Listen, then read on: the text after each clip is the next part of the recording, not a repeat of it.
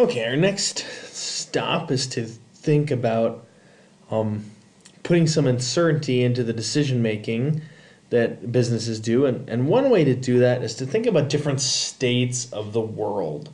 Um, we actually have already done this a little bit in that we say, for example, in a previous lecture, that $100 now may be worth $102 in a year, right? And given a choice between $100 now and $102 later, you wouldn't be sure which you would prefer. And we can think about those as different as different states. So um, now it might occur in one version and later might occur in a different version, right? And we can map from one to the other in a way that these these have prices, right? So getting hundred dollars now is worth hundred dollars now, and getting hundred two dollars later is worth hundred dollars now, and we could even think about you know hundred four dollars and some change later, later, and and so on, right? So we have different states of the world that have a different value, and in the case of time, it's because of interest rates. Um, but in fact, there are more states that can occur than just um, time passing, right? So, um, for example, we when we think about people, we say that um, they could be in a happy state or a depressed state. And if I wake up in the morning, I don't necessarily know which I will be at five o'clock in the evening, right? I might be happy by then, or I might be um, a little mopey by then, who, knows, right? So um, there are different states of the world that can occur, and maybe different things happen. So, um, for example, maybe when I'm happy, I go to the gym, and when I'm not happy, I go get a black and tan from Leatherbees. Um, so we have different possible things that can occur and these different states of the world can have different financial outcomes. Um, I'll give you a good example would be if we have a heat wave, this will cost large commercial um, office buildings a money in um, increased cooling costs, right? So the the hotter it gets, the more expensive it is to cool large buildings these are different states. So there, we could think about having different weather states, and the different weather states have different financial outcomes. And so that's what we're going to do to start introducing uncertainty into decision making. Um, and the most important set of states we're thinking about is the macroeconomic states of recession and um, expansion. Right? So if we are in a, re- recession state, our money will well we will, our, our businesses will have different financial outcomes in a recession state than they will in an expansion state. So Brunswick again is that great example where being in a recession state, state is extremely damaging for their business, whereas um, a different business like uh, you know, for example, Walmart. So Walmart is going to lose customers on the low end who no longer can afford to buy as much at Walmart, but also might benefit from customers that previously were shopping at higher end stores that now shop at Walmart because they're feeling the financial squeeze. Um, so, so we can think about maybe a hundred dollars in a recession or $102 in a recession being worth um, $100 in an expansion and vice versa, right? Give it the choice between 102 in an expansion and 100 in a recession, we might be indifferent. Um, so there's a 2% difference there between those two states, but it's not an interest rate, right? We're not traveling through time. We're just expressing a difference in the value of money in different um, macroeconomic states. And so, a way to simplify this is to think about how much would it cost me to purchase a security that pays me exactly one dollar in exactly one state. So if our two states are recession and expansion, I, an Arrow-Debreu security would pay exactly one dollar in a recession and zero dollars in expansion. Or alternatively, a different one would pay zero dollars in a recession and one dollar in an expansion. But both of these are Arrow-Debreu securities because they um, pay a dollar in a certain state of the world. And in that case, now, what if I bought one of the first security and one of the second security? Well, now I'm going to get going to get one dollar no matter what, right? Because one of my securities will pay in a recession, and one of my the other security will pay in an expansion. And so then this just becomes a matter of interest rates because they won't pay for probably a year or two or however long it was until it was resolved. Okay, so that's um, that's and that's a portfolio of Arrow-Debreu securities, um, and that's often how we'll use them. So um, you can think about uh, an example of well, let's see. So if I have um, if I have uh, a, a, hot dog cart and I'm selling hot dogs, I can make hundred dollars if it's sun shining, and I can make thirty dollars if it's raining. Um, that would mean that that hot dog cart is equivalent in cash flows to 100 Aero de sunny securities and 30 Aero de rainy securities. So to find the value of the hot dog cart to us, we would pay find the price for the find the price for the sunny securities and find the price for the rainy securities and then buy 100 of the first and 30 of the second. And and so that and that would give us an overall price of you know so maybe this is 40 cents for sunny and 50 cents for rainy so we would have $40 because because 40 cents times 100 would be $40 and then um, uh, we had $30 we need 30 of the rainy ones, and the rainy ones are 50 cents each, so that's um, $15.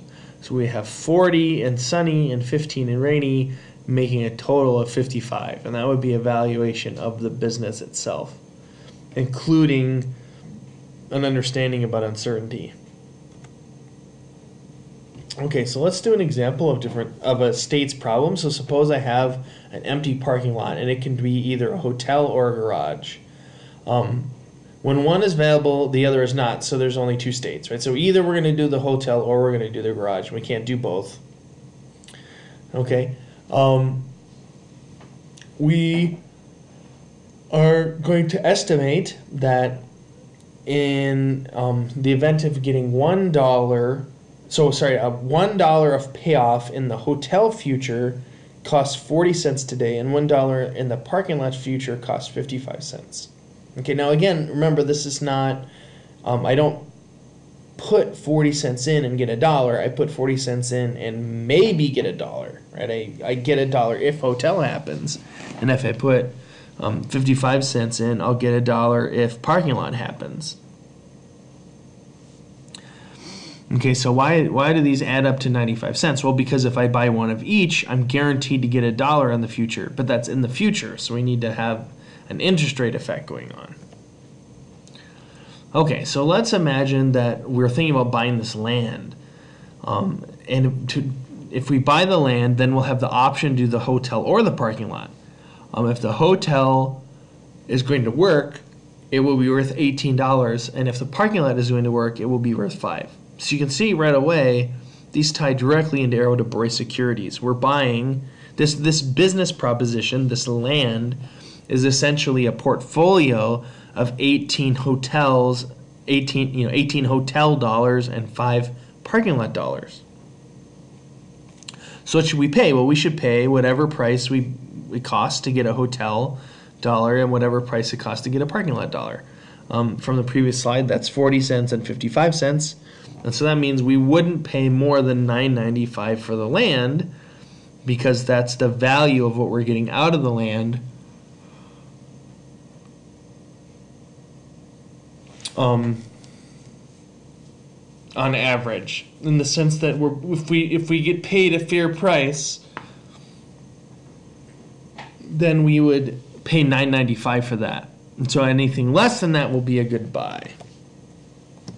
Okay, so that's that's an example of a of an option. So we have this is a an option, but you have the option to do the hotel or the parking lot. Okay, um, stock options themselves work very similar. So, um, suppose that we're following a particular stock. Um, let's just say Apple, and so for ninety cents, I get I can get a dollar in both up and down, and for a dollar thirty, I can get a dollar in down and two dollars in up from a stock. So we're going to make a portfolio of these. So we're going to buy the stock and sell the bond. So if I buy the stock, I get one dollar in down, and if I sell the bond, I get one dollar in down. So those cancel, so I get nothing in down. Whereas the two ups um, leaves one up compared to the to the one up in the in the uh, bond we're selling. And so what's left, right, is zero down securities, or sorry, zero up securities and one down security. Well, we know that that whole portfolio cost 40 cents, right? Because I paid 130 for the stock and I got 90 cents from selling the bond. So I, I have an overall expenditure of 40 cents, and 40 cents gets me $1 in the um, stock state. And um, yeah, one dollar in the stock state. So that one dollar actually only costs forty cents. But again, we don't always get it, right? Sometimes we pay forty cents and get um, nothing if if we get unlucky, um, right? If the if the other um, if the other option is favored. Okay, so so this is important, right? Nowhere in here did I give you any Arrow-Debreu prices, right? I said for ninety cents. Oh, sorry um, yeah, so for 90 cents, I can get $1 in both up and down, right? So I have a 90 cent bond and a $1.30 stock. And I combined those two and I got an implication for the price of an Arrow-Debreu up and an Arrow-Debreu down, um, which are respectively 40 cents and 50 cents. So to get um, 0, 1, right, to get 0, 1, that's one up, I'd pay 40 cents. And that's what we figured out, right? A dollar 30 minus 90 is 40 cents. Suppose I have a stock option that pays zero in the down and six in the up. What's it worth? Okay, so just take a moment and try to figure it out. Okay, this is quite easy actually, right? I have zero down securities and six up securities. We already established that ups are 40 cents, right? So it's $2.40 to buy a security that pays zero in the down and six in the up. If we change it to six in the down, it's a little bit more, right? It was 55 cents instead of 40 cents. So why would $6 and the down be more expensive than $6 and up? Well, again, remember, when we're down, that means the economy is struggling and money is more precious. And so if we have an investment that pays us when the economy is down, that's going to be attractive and will um, bid up the price. Um, this so this is true to real life in that put options are generally more expensive than call options per dollar of payoff because um, after taking probabilities into account because the um, because they provide money in a time pattern of consumption that's very profitable preferable right? We you only get options um, to you only get options um, to to you know in, in circumstances where you're getting money some of the time and so um, if the sum of the time is a time when the economy is doing poorly or would be doing poorly, then we, then um, that option can command a higher price. Okay, so um, obviously the, the, these examples were set up a little bit. So how do we do this generally? So um, the best way to do it is to do guess and check using Excel Solver. So I have a I have an, exa- uh, an Excel example here. So, um, oh, let's see. Let me open, this is the one we were working on from last time. I have it in your, um, on the course page. So just a sec, let's get to our week three here. I know that you can't see my whole screen. You'll be able to in a minute. I just have to open this. All right, lo loading. Here we go.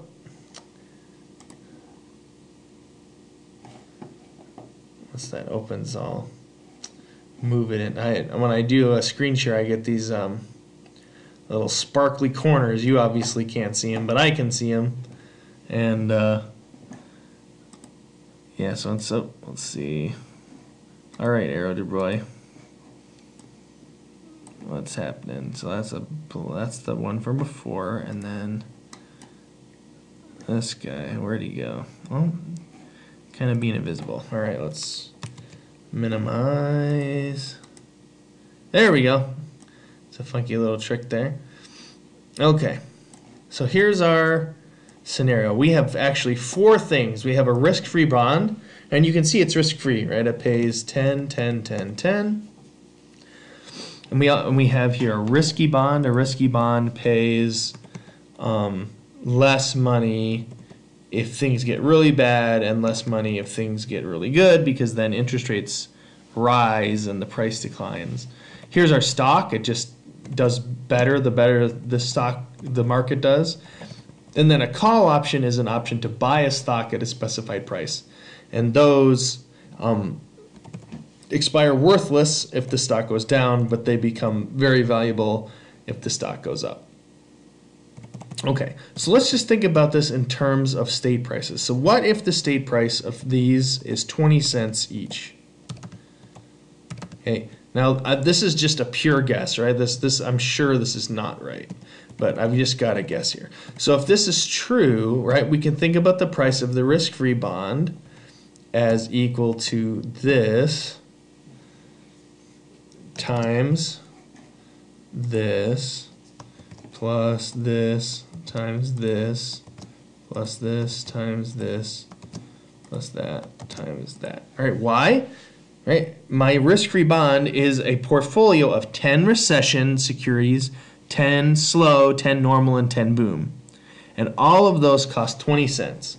And I'm going to actually lock in this row 7 here, right? Because I want to check it for all of our securities, right? So this is our estimate of the risk-free price. And if I drag down, I get an estimate for of all the other prices. So you can see, right, my guess, not so smart. Right, this is not the same as this.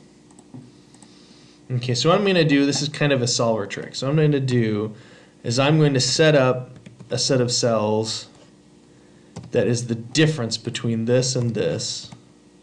And actually, I'm going to square it. Just so that way we don't get any negatives, right? We don't want any negative numbers. Canceling our error out. So this is like a, it's kind of like our error here, right? So we got the call option pretty well, but the bonds are just off. Okay, and I'm going to sum this. So sum these. Okay, so we're off by um, 5.3 in, in squared error. We want that to go to zero, right? We want to be right. So we're going to do, we're going to go to data, go to solver, and in our solver here, we want to make, what's our objective? Our objective is to get this thing as small as possible, right? We want it to just get tiny. So what are we changing? What are we changing? Well, when we do solver, we change our guess, and our guess was these prices, right? So we guessed those prices, and it's a bad guess. That's why we didn't get the right answer. Um, in general, it's a good idea to uncheck this. And let's go ahead and solve it and see what happens. Now this is going to do guess and check on all those prices to try to minimize that error. Okay, it says it found something. Okay, and here we go. So now You can see these prices are now very similar. I've got 960, 940, 890, dollar 8. These are all very similar. And I have now state prices, right? 46, 38, negative 21, and 32. Okay? Um, when this situation happens, we'd actually say that this economy has arbitrage. Because what does that mean? That means that what if you and I had a deal and it was okay, tell you what, you pay me you pay me zero in a recession, zero in a slow, one in a normal, and zero in a boom, right? So you're going to pay me, but only in a normal. Okay, so naturally you would expect that I would have to pay you, right? Maybe I'll give you 20 cents, and then sometimes you give me a dollar, and that would be a fair trade. But in this economy, you paying me a dollar means I get to say, okay, you pay me 21 cents and then sometime in the future you might need to pay me a dollar. Okay? So you're you are you're thinking, well, why would you rationally do that ever? And the answer is really you wouldn't. Um, but sometimes maybe you're not noticing that's what you're doing. It'd be like um, going to the gas station with if they had two different prices at two different gas stations and you bought gas from one and sold gas to the other. Um, after a while they're going to figure you out because they're going to need to change prices because the one gas station will be running out of gas and the other one will have too much gas and so they'll adjust prices until that situation doesn't happen anymore so it's the same here these traded prices of those four securities are creating a situation where um, where the normal has a negative state price. Um, I have done estimates of state prices using the um, using uh, options on stock market indices and you do get slightly negative state prices sometimes. But um, but on you, you in general you get a you get a curve that, has a nice smooth curve to it with the more likely in stock index outcomes being more valuable than the other ones um, but then there's some wiggle. So there's some random noise in it that makes it dip negative sometimes. But in general, the state prices across a broad spectrum of possible futures are positive. And this is just an example of how you would find them. So again, right, you you give a guess for state prices and then see what market prices were implied by your state prices and then make those two sets of things match using solver. Okay. So that was our Excel demonstration. So how can we use this maybe in practice? So let's imagine we've got a semiconductor manufacturer um, that is thinking about building a new fab for $4 billion. When this happens in the semiconductor industry, they come up with a smaller nanometer process and they want to upgrade their, um, their plant and make um, more dense chips that are faster. So if we want to invest four dollar four billion in the fab, we need to build the building for two years and then install the equipment. Or sorry, build the building for one year and install the equipment over one year. Um, if we build the plant, we get six billion up securities and negative. Um, I think this should actually be five billion um, downs. So we've got up for 40 cents and down for 55 cents. So we can ask, is this a good idea? Well, um, our, our project is a portfolio, right? It's a portfolio of 6 billion ups and negative 5 billion downs. So we can say, well, the, the total value should just be the mark, the value of those two things combined, right? So if we do a quick calculation, you get negative 0.35. So what does that mean? It means that if we spend the 4 billion to, to build the fab the fab, we would, on average, have destroyed 350 um, dollars of shareholder value. So, and it's not that this fab, the the semiconductor fab, isn't. Um, it's not generating revenues. It, it is. It's just that we have a pretty significant chance of the of losing a large amount of money and we lose a large amount of money at the same time when we desperately want money because we're in a down state. So those powers combined make this project not worth doing. Um, but wait, right? So, but wait, pun intended. So, how do we wait? So, we wait by building the building and then decide whether or not we're going to go through it. And if we know by the time we finish building the the building whether or not it's going to be a good idea, then we can have the option to wait or not. So um, if we're waiting, we get 6 minus 3.9 because right it's 4 billion to get started but we already spent 100 million building the building. So we would get 6 minus 3.9 up securities and 0 down securities. Okay why do we get 0 down securities this time? Because we're not going to do it if it's down right? So if the economy is bad we're not going to do it. So it's not going to cost us four billion, and it's not going to get us money either. Um, I mean, a negative five billion. And so, um, yeah, so we get zero in the down, but we get six minus what we invested in the up. And so now we have a new estimate of the value, and we can see that, that it will be positive, right? There's 2.1 um, billion dollars total. It's just this 2.1 billion in the up, which translates to right. So if I have six minus three point nine, that's my two point one billion um, in profit. In if we get to the upstate, and then um, we multiply by forty cents is what it costs us, and then we subtract off the hundred thousand we already put in, and we get this number. Um, and so uh, we that ends up being positive, right? So on average, we're we're going to be positive, and so having the option to wait, well, taking the option to wait, and then deciding whether or not it's a good idea to go forward after we've invested um, a year's worth of effort um, can be has switched the project from being a terrible project, don't do it, to being a project worth doing.